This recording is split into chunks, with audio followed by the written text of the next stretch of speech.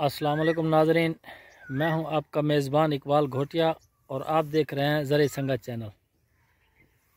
आज हम आपको एक कपास का खेत दिखाने जा रहे हैं कि हम काफ़ी अरसे से दो महीने से हम ये कंपेन चला रहे हैं, अपने ज़िम्मेदार भाइयों को ये कन्वे कर रहे हैं और ये मैसेज हर जगह पर पहुँचाने की कोशिश कर रहे हैं हर ज़िम्मेदार भाई तक कि इस दफ़ा कपास की फ़सल जो है वो अमूमन अब जो वैरायटीज़ आई हैं, वो झाड़ीदार वैरायटीज़ हैं, जो शाखदार हैं और उनको जगह भी ज़्यादा चाहिए होती है अपनी शाखें बढ़ाने के लिए। तो इस वक्त हमने, इस दफ़ा हमने मैसेज कन्वे किया हर ज़िम्मेदार भाई को कि वो कपास के पौधे के से, पौधे का जो फासला है, वो कम अज़ कम कम अज़ कम डेढ़ से दो फुट लाजमी रखें। तो ये मैसेज हमने कोशिश की तो कुछ ज़िम्मेदार हमारे दोस्त भाइयों ने इस मैसेज को कबूल किया और उन्होंने पौधे से पौधे का फासला ज़्यादा रखा। कुछ दोस्तों ने तो बहुत ज़्यादा रखा और कुछ ने डेढ़ से दो फुट रखा। तो हम आपको दिखाते हैं कि जो पौधे से पौधे का दरमियानी फासला अगर ज़्यादा हो तो उससे क्या फ़ायदा हासिल होता है? उसका पौधे की ग्रोथ के ऊपर क्या असर पड़ता है? पौधे की फ्रूटिंग के ऊपर क्या असर पड़ता है? तो आज हम आपको दिखाते हैं कपास का फ़सल, जो अगेती काश्त है, फरवरी काश्त है, मार्च की काश्त तो उसके ऊपर आज आपको खेत का विज़िट कराते हैं, उसके ऊपर जो कंडीशन है, उसकी वो भी दिखाते हैं, उसके ऊपर बात करते हैं। तो ये एक कपास का खेत है। आप देख सकते हैं, ये अगेती काश्त है।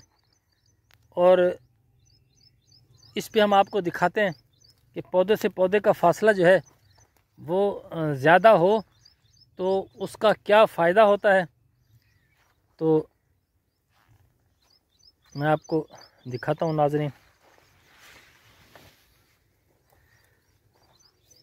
देखें, ये मैं आपको नीचे से दिखाने की कोशिश करता हूँ कि ये देखें, ये पौधे के तना है, ये पौधे का तना है कम से कम डेढ़ फुट का फासला है तो उसका क्या बेनिफिट हुआ है?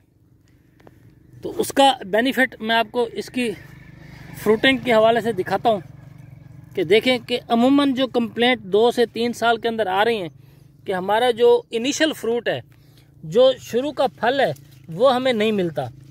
तो फासला रखने से देखें कि ये टिंडे मौजूद हैं और बिल्कुल तैयार टिंडे हैं और इसी तरह ये देखें, ये बिल्कुल मैं आपको दिखाने की कोशिश कर रहा हूँ कि ये टिंडा है। तो ये हमारा इनिशियल जो फल है, वो हमें मिले। और देखें, टिंडे का साइज़ बहुत अच्छा है और ऊपर फ्रूटिंग बहुत अच्छी है। तो इससे एक तो हमारा जो फ्रूट शेडिंग होती है, वो नहीं होती, हबस की वजह से। हवा का गुज़र बेहतर है तो उससे हमारा जो फ्रूट जो नीचे वाला ख़राब हो जाता था, वो फ्रूट हमारा कामयाब हो रहा है और वो हमें मिल रहा है।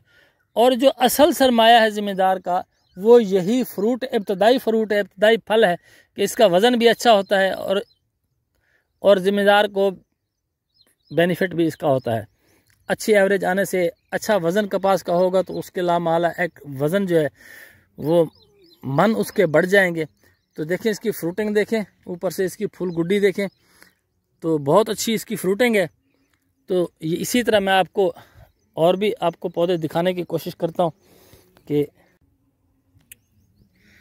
तो ये देखें, नाजरीन, ये दूसरा पौधा है।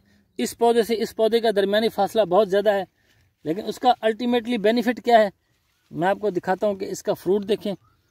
बहुत अच्छा फ्रूट है, टिंडे का साइज़ भी बहुत अच्छा है, और फ्रूटिंग इसकी ऊपर से इसकी जो फ्लावरिंग है, वो ज़बरदस्त है। ये देखें नाजरीन, बहुत ज़बरदस्त फ्लावरिंग है। तो ये कुछ चीज़ें हैं जो हम अपने ज़िम्मेदार भाइयों के साथ शेयर करना चाह रहे थे। तो ये आज जो है वो आ, मैं आपको डेट भी बता देता हूँ कि आज तीस मई है। तो तीस मई को कपास की ये कंडीशन है। तो आप अंदाज़ा कर सकते हैं कि पाँच पाँच छः छः टिंडे बिल्कुल मैच्योर हो चुके हैं तीस मई तक। तो हमें इसका कितना बेनिफिट होगा तो आप खुद इसका अंदाज़ा लगा सकते हैं। तो उम्मीद है कि आपको हमारी ये वीडियो पसंद आई होगी।